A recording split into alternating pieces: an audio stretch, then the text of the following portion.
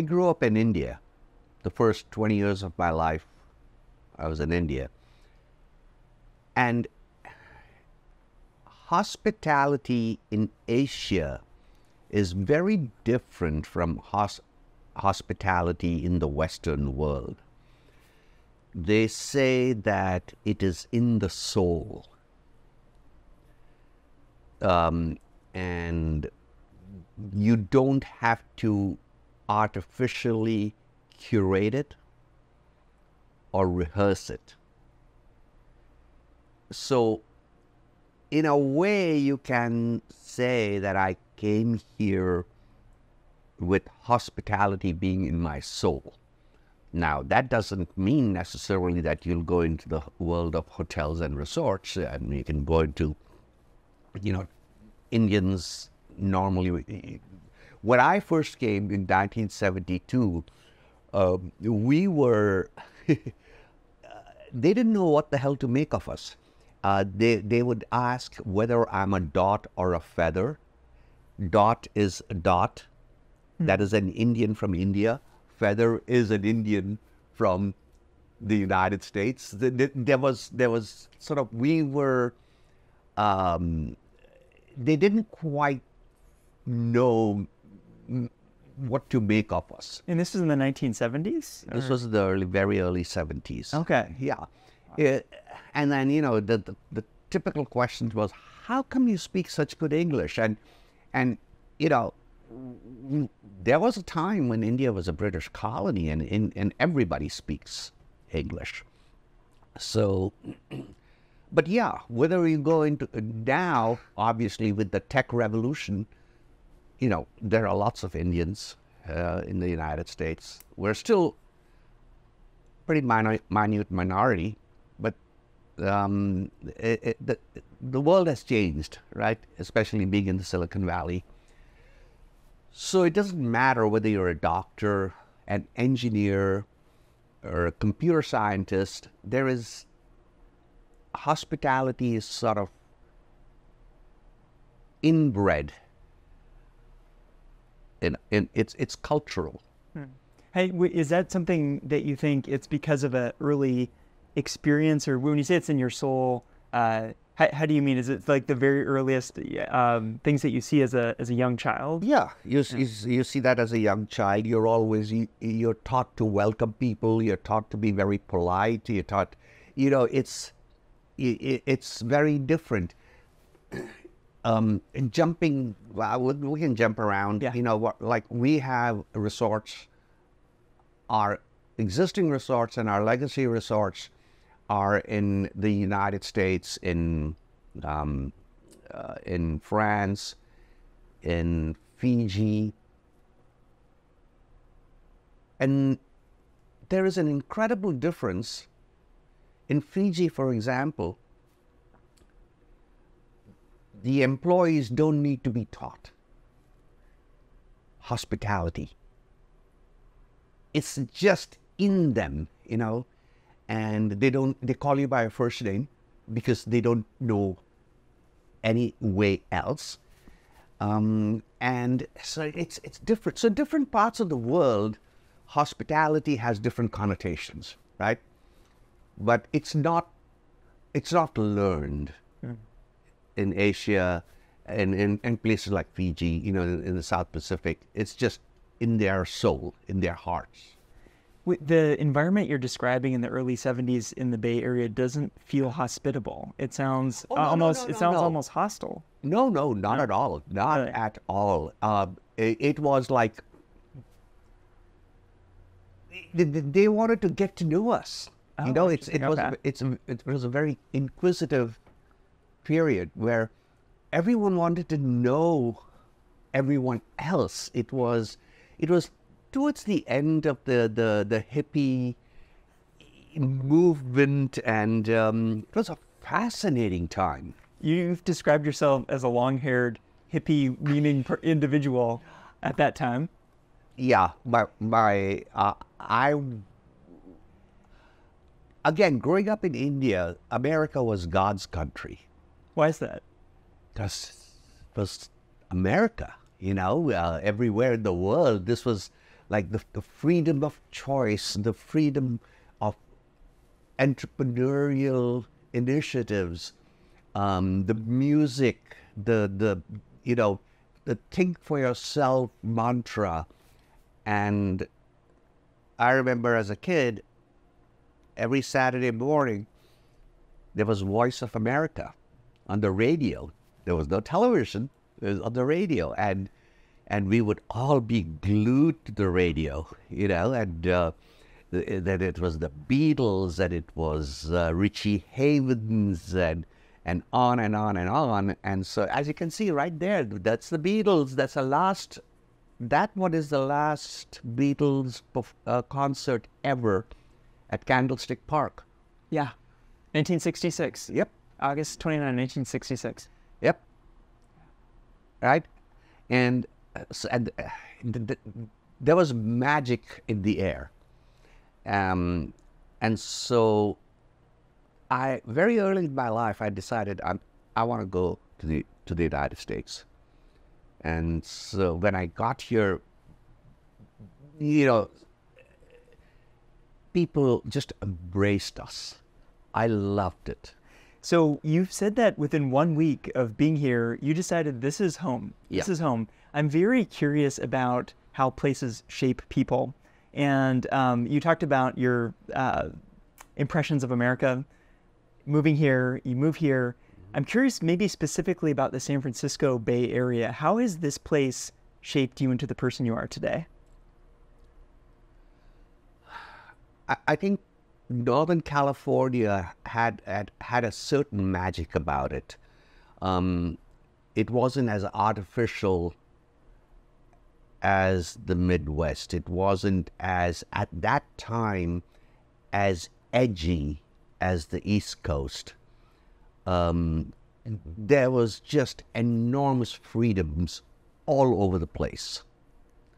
Um, you know, the, you can say whatever you want about the hippie movement, and, but and that was fascinating, and we needed that kind of a movement was very, very necessary.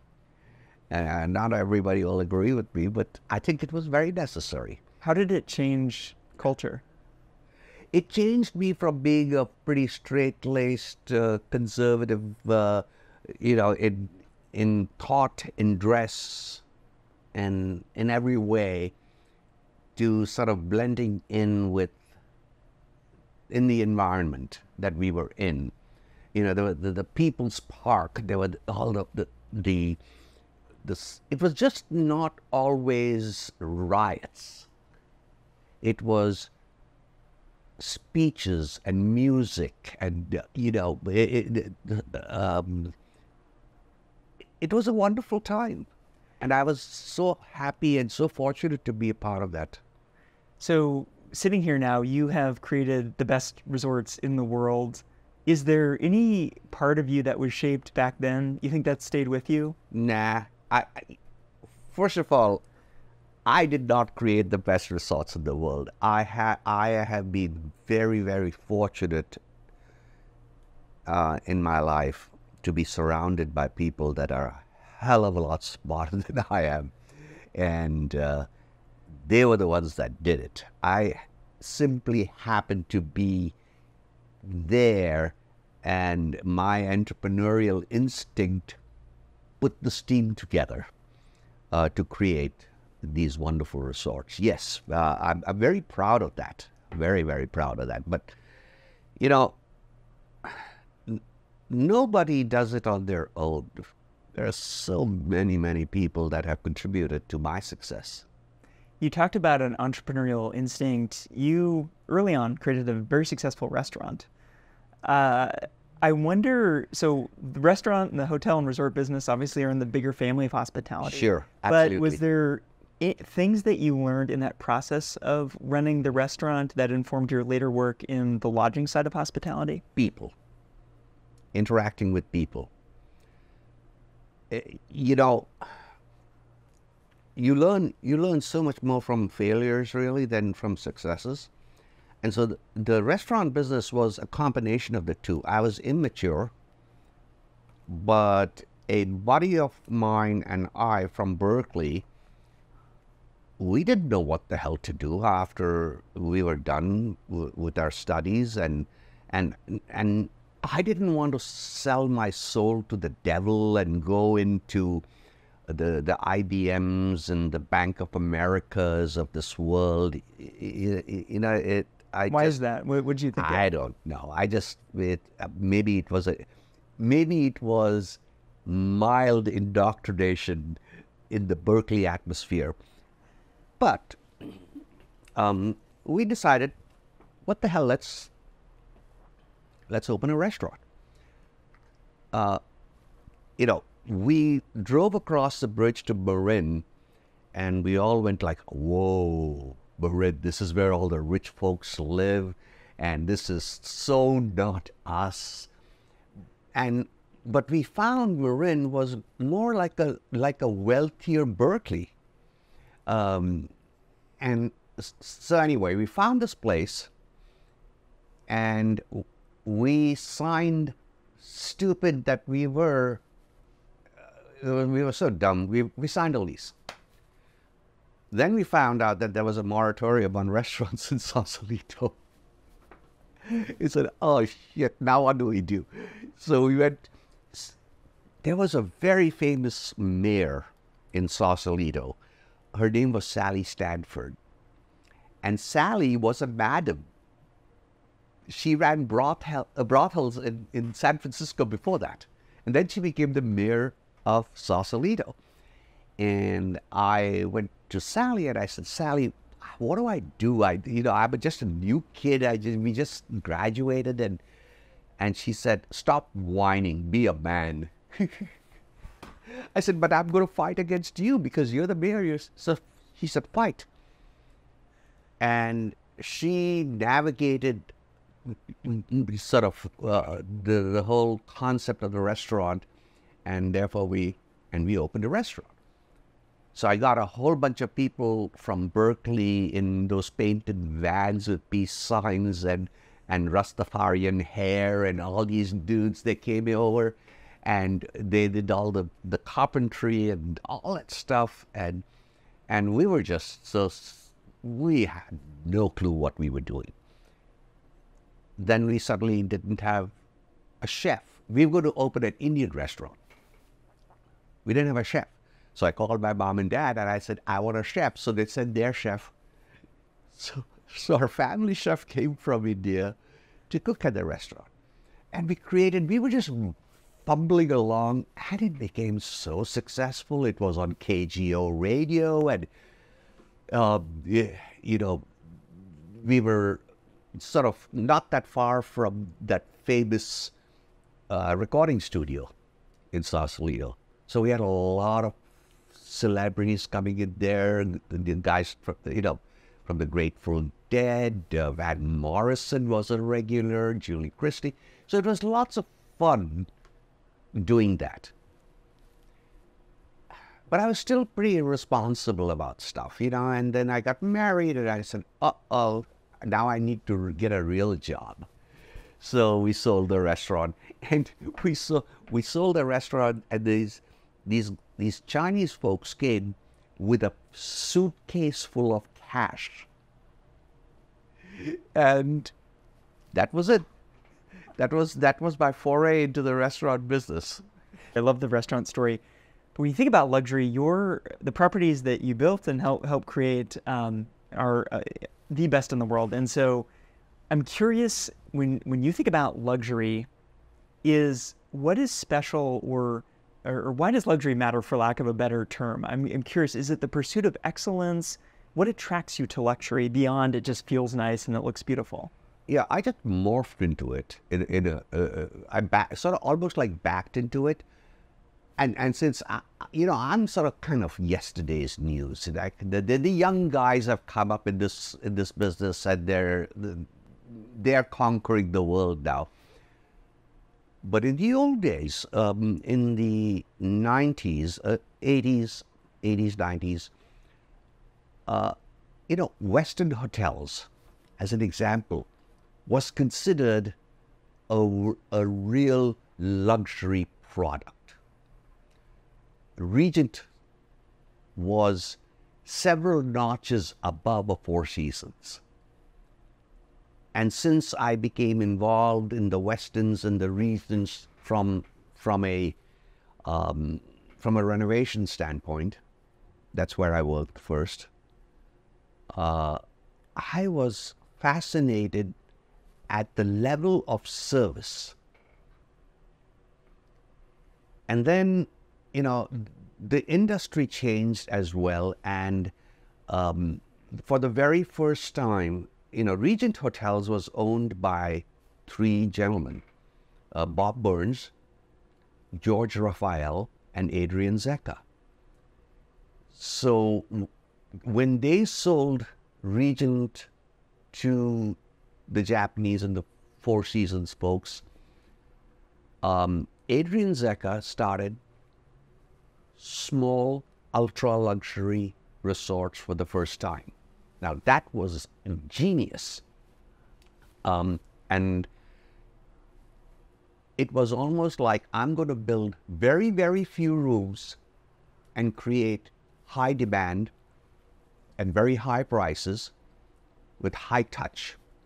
So if a normal uh, hotel had a like maybe one staff to five guests. An Aman resort had five staff to one guest. And the staff is almost invisible. So the industry changed. Now, of course, there are lots of copycats. what is um, what is luxury? What does good luxury or good service feel like to you now? Because you mentioned there's been changes in the industry. When you're a guest elsewhere, what what what do you appreciate most in this area? Okay. When you when you talk about luxury, I would say 60% of luxury is service. And the rest is the bricks and mortar and the great architecture. You know, uh, think of it as a as sort of a funnel, and you drop in a great location, a great brand, great operation, great architecture, and what comes out at the end of the funnel is close to a perfect product. Without great service, luxury is you know, luxury just is meaningless. So it's all about service. You've described great service as being invisible, but mm-hmm. also coming with soul. What else comes to mind in terms of how you describe great service and, and the service you want, I guess, the teams at these properties to be providing? Anticipation. You know, you, the staff needs to know what somebody wants without that person having to ask for it. Recognition.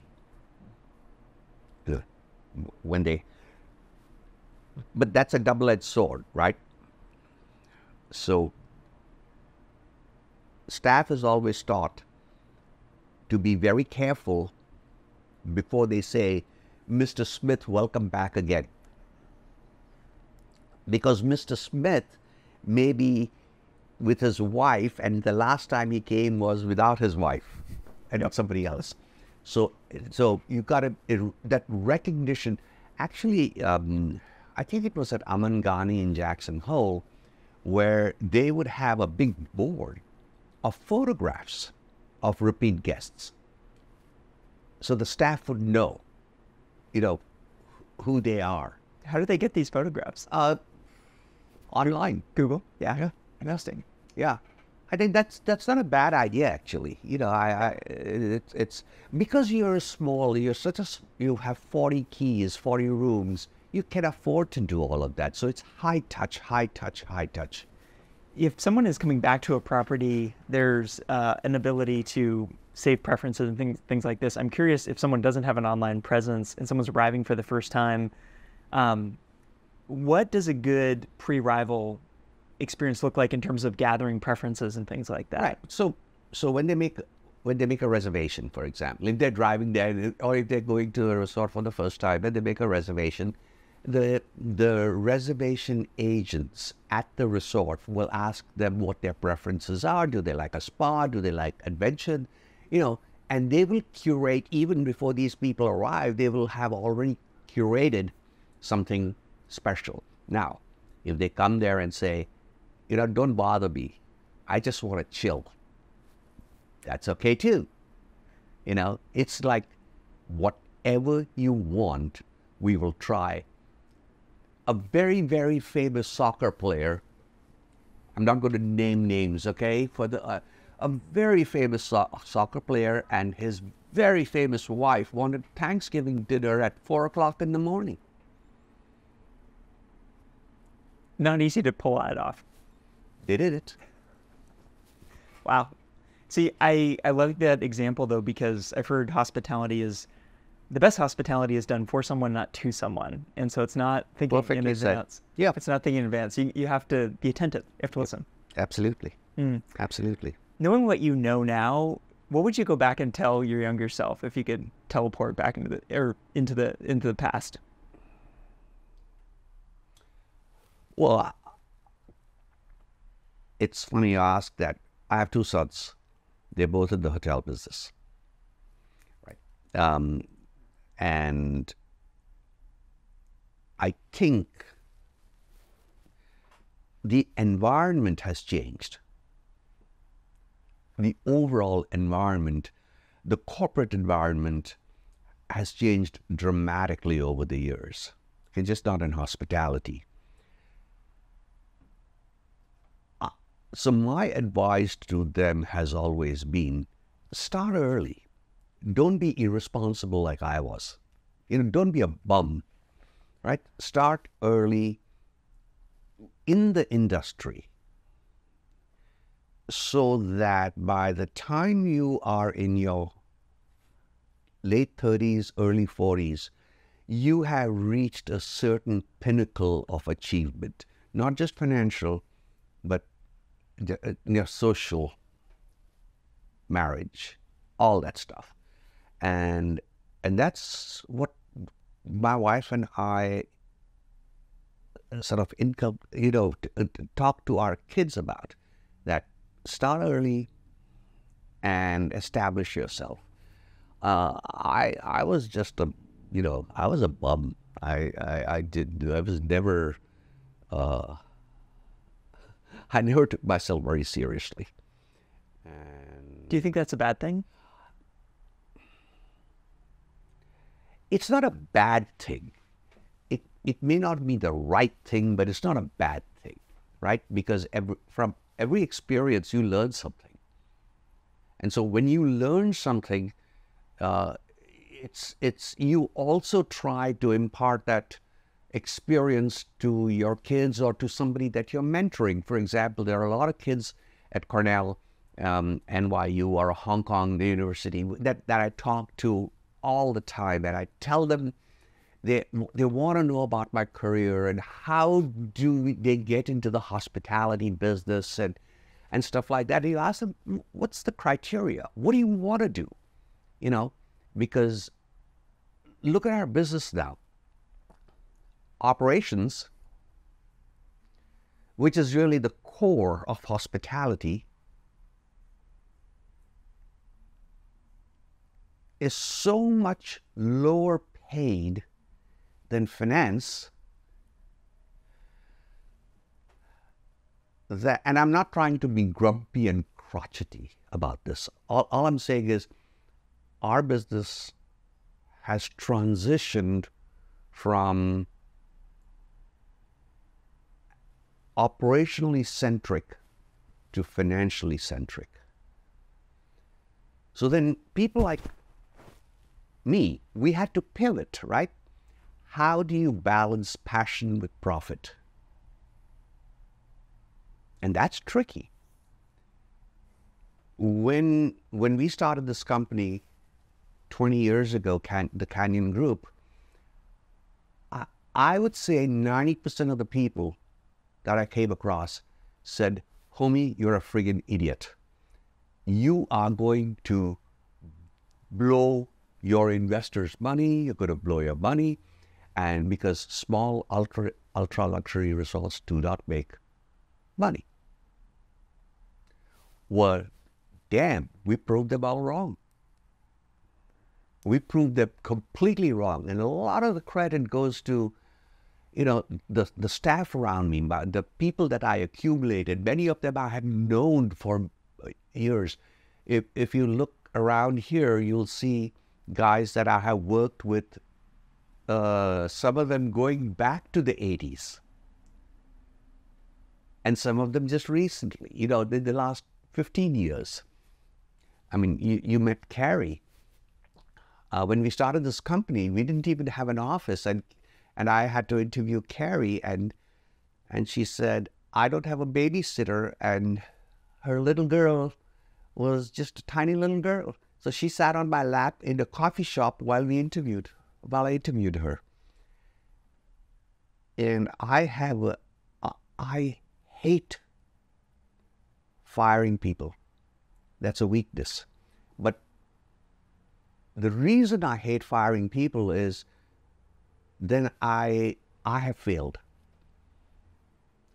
So when I'm pissed off at somebody, I, I always go, I'm not going to fire you, but I'm going to take you kicking, screaming to the finish line so you can get with the program.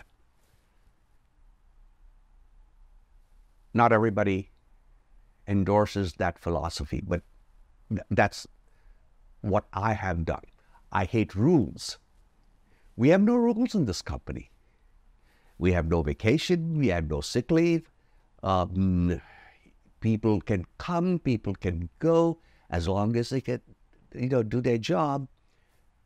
While I was the CEO of the company, I said I have there are no rules. Just be responsible. Adults are responsible. Do you so think high performers function best in that environment? I, I think so. But then you're a small company, right? So you can get away with all this stuff, but it, a larger organization, it's hard. It's hard. Others have described you as a contrarian. Your track record yeah. demonstrates a lot of contrarian thinking. Yeah. You mentioned the industry moving from being operations centric mm-hmm. to financially driven. Mm-hmm. Do you feel there's an opportunity for contrarian thinking now in that regard? Is there a world where hospitality prov- providers, investors could operate with an operations first mindset and succeed today in a world where everyone is financially driven? Uh, yes, absolutely. And we have done it, right? So, like I said earlier, you know, it's a perfect blend of passion and profit. Um, when you look, so take uh, there are only a handful of ultra luxury brands in the world, right? There's Aman, Six Senses, Cheval Blanc, um, Ro- Rosewood, maybe, you know, and then there are the luxury product. That's the Ritz Carltons, the Four Seasons, yada yada, Montage, and all that. The small ultra luxury segment, I believe, has effectively transitioned from operationally centric, where a 4% return was fantastic in the 80s, to a passion and profit centric, where now, you know, a 15, 18, 22% IRR is the expectation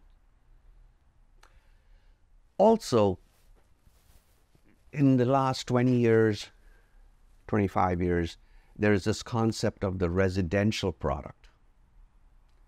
So you build 40 keys and you build 20 villas and you sell them at exorbitant prices.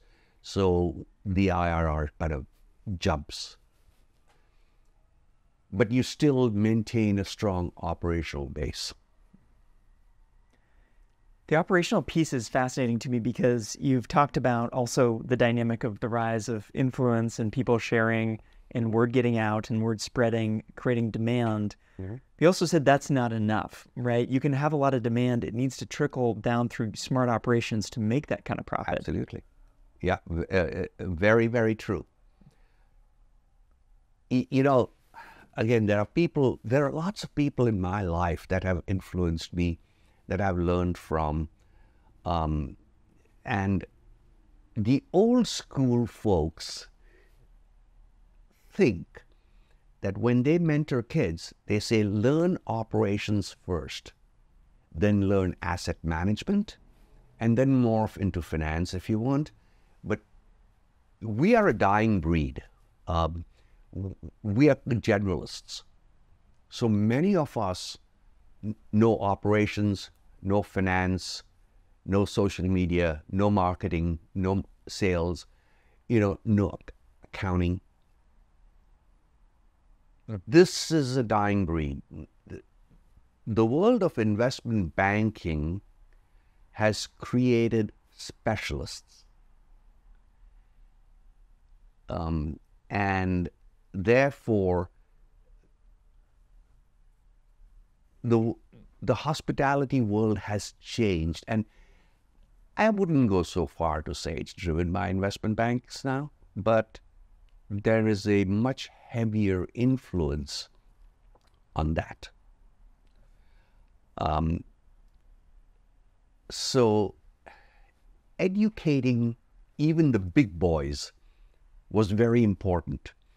Um, you know, when we first started this, we built, uh, let's say, Giri or uh, Four Seasons Rancho Encantado, and we went to somebody like a KSL Partners, you know, friends, good friends from the long, long time. And we said, take a look at what we are doing here, and we want you to finance us.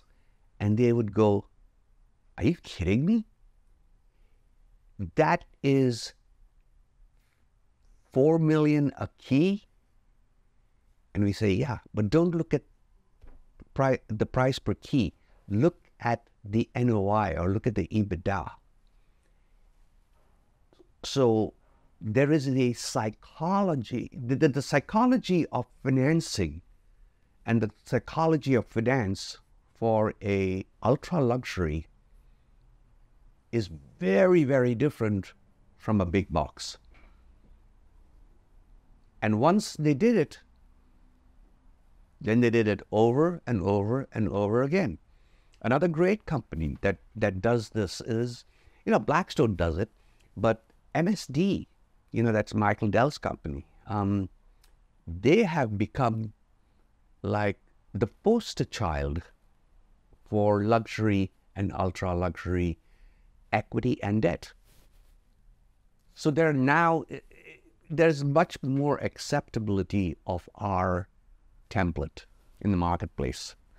So I have a few follow-up questions on that. I guess I'm going to start at the highest level. Um, you've you've said hospitality is the, the biggest, brightest, best industry in the world. I'm curious if you if you still feel that way, and if so, why? Yeah, because it's tourism. Tourism and hospitality is the by far the biggest and most powerful industry globally. Right? You know, years ago, when, when Obama became president of the United States, he, he, he tried to sort of put a slant, put a slightly leftist slant on our industry on luxury, basically, when he said, you know, Las Vegas is bad, Four Seasons is bad, Rolex is bad, yada yada yada, and and Barney's in New York were um, was embarrassed to even start putting their brand on the bags, and it would be plain white bags and stuff like that. what he didn't realize was that by making those kinds of statements, he was harming the very folks that voted for him. because it's such a people intense industry. I mean, then, you know, later on he became a big ally of tourism and hospitality. Hmm.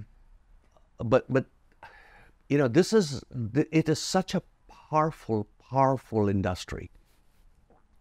And when you talk about the power of it from a tourism perspective, it's all the people that want to travel, have to travel, and then there's the the element where there, it just takes so many people to provide a hospitality experience. So there's Takes so much. It takes a village, and so there's so Yeah. many, uh, so much money moving around that because there's so many people involved. Is that that fair?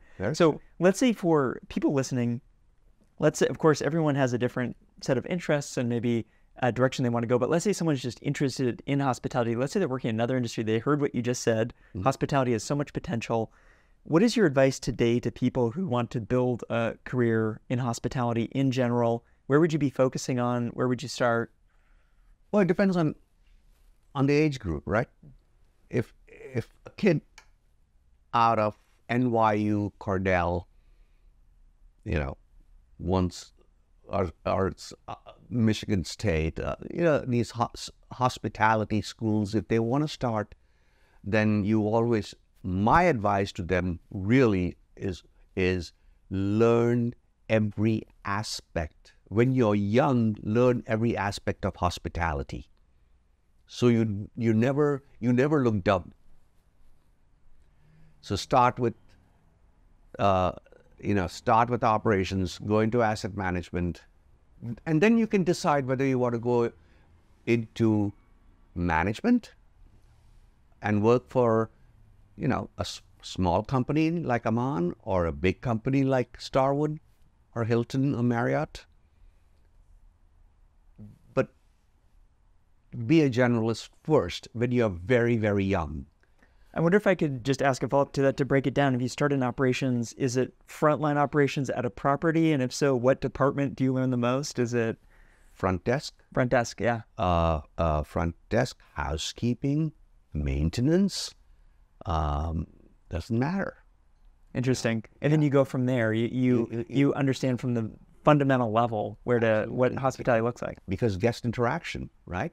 Whether you're whether you're in a Fairfield by Marriott, which is a phenomenal, uh, or a, you know a Hyatt Place, uh, another phenomenal brand, um, or whether you're at Aman, it doesn't matter. You still are interacting with the guests. And does that make you a better brand executive or investor or asset manager later on? Yeah, it it, it creates ownership. Eh, and so now then, and then what happens um, is, I, is sometimes somebody that is reasonably wealthy or somebody that's uber wealthy will come out of the blue and say, Homi, um, we really want to, to get into the hospitality business. Now, that's a different story, you know.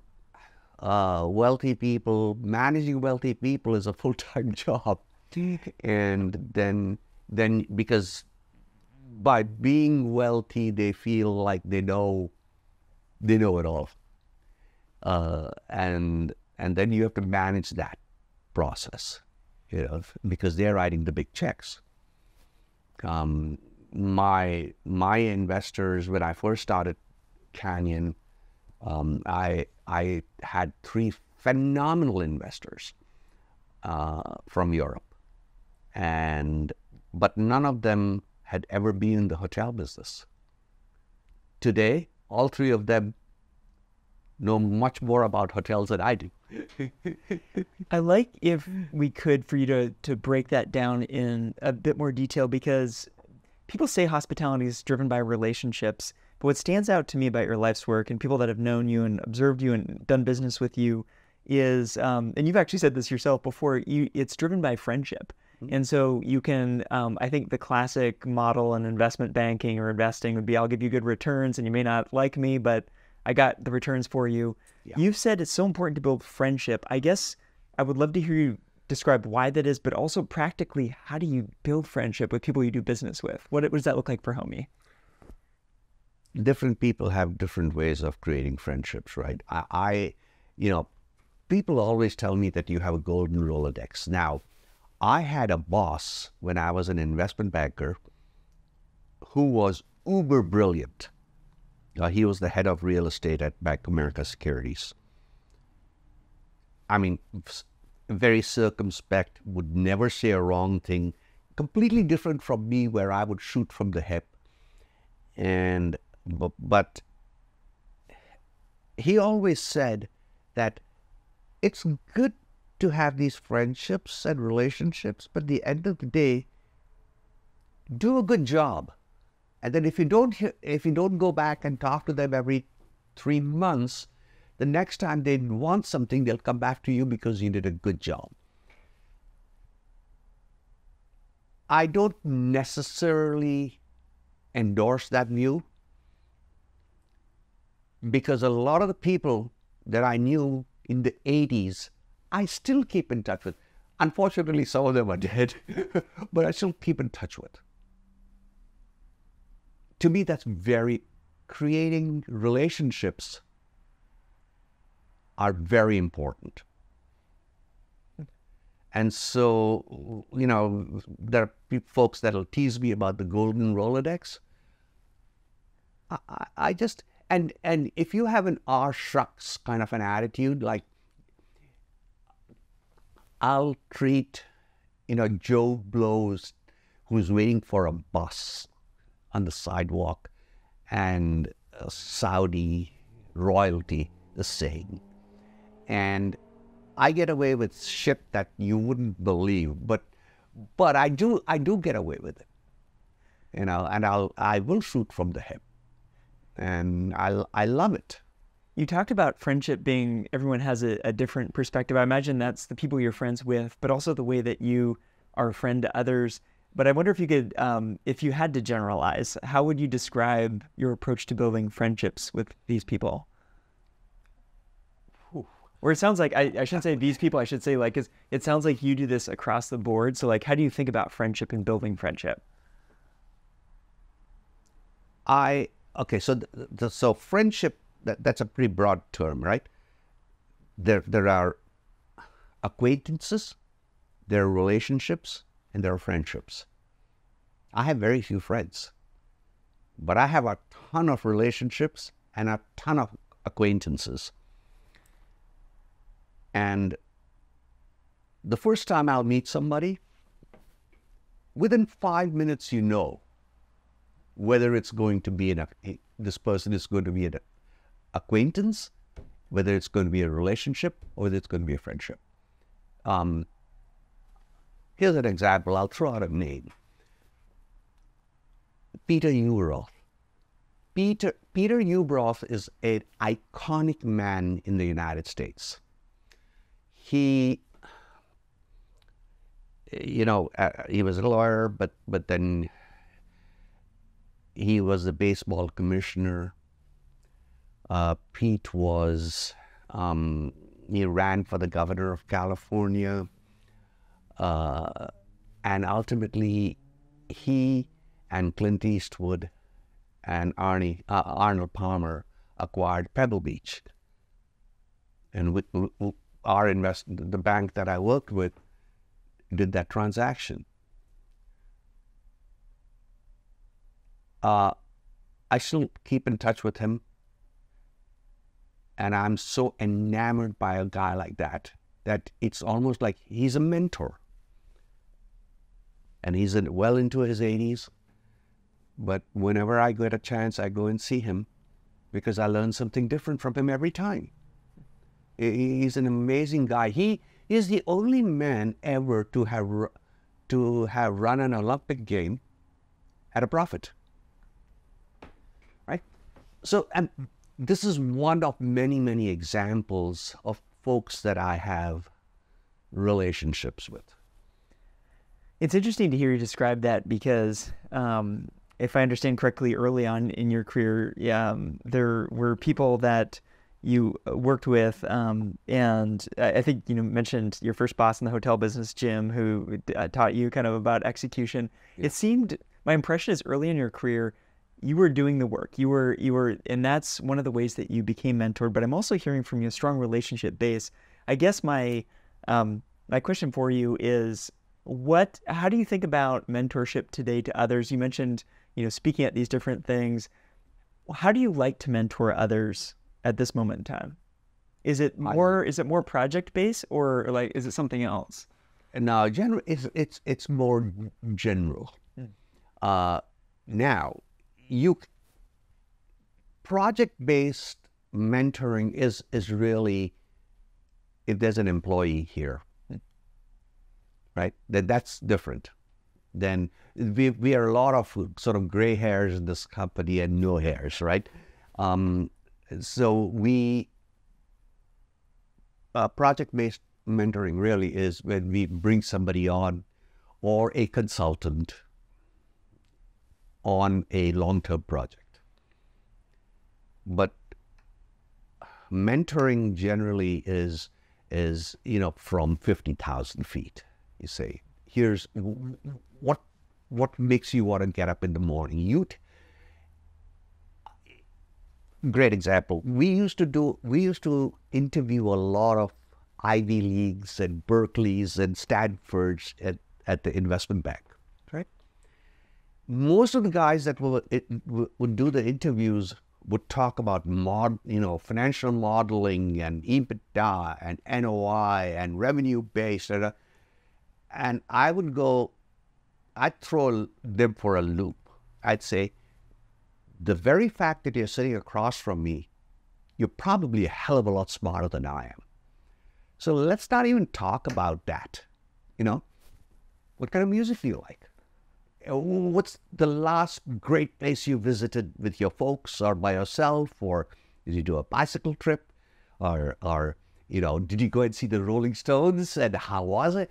You know, we talk about our you know, which teams do you do? Uh, do you follow the A's? Do you follow the Giants, the Niners, uh, or Yankees, or Red Sox? And so we, I would talk about different things because you learn more about somebody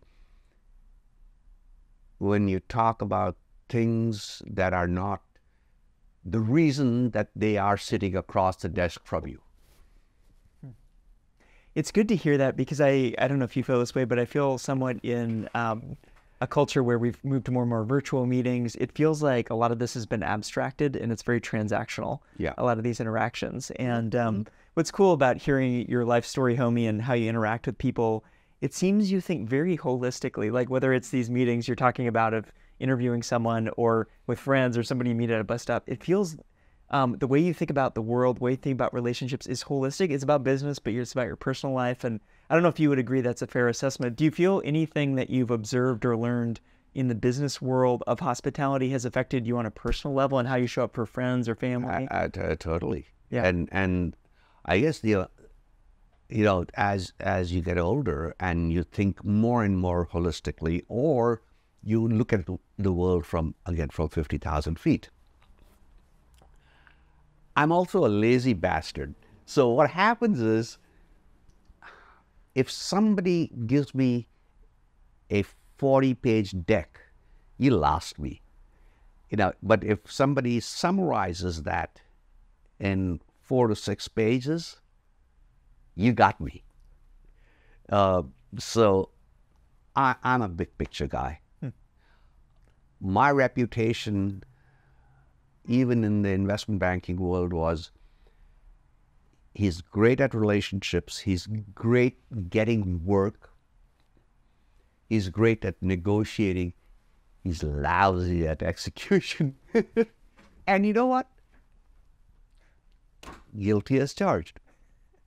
I, I want to. Um, it's interesting you say that, but I, I I don't know. If I look at your track record, I, I might dispute that point. But you say you're a big picture guy. I how can we think bigger in hospitality? Because as you were recounting some stories, people had a fixed mindset. Luxury kind of broke even or lost money or had these very nominal returns.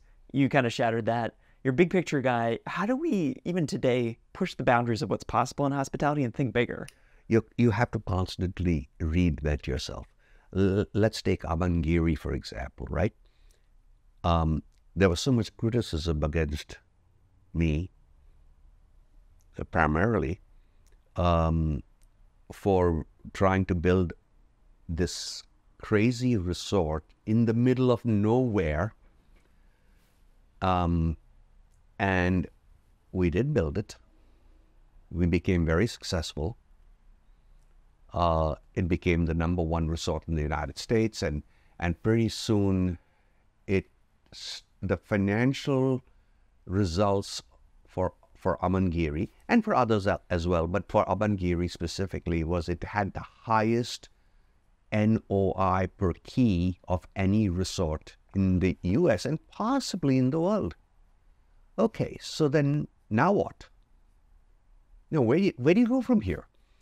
Um, so then what we did was we said, okay, let, let's, there is this concept of experiential luxury, holistic, light on earth experiential luxury that has been very prevalent in Africa and in Asia, but it, it's in its infancy in the United States.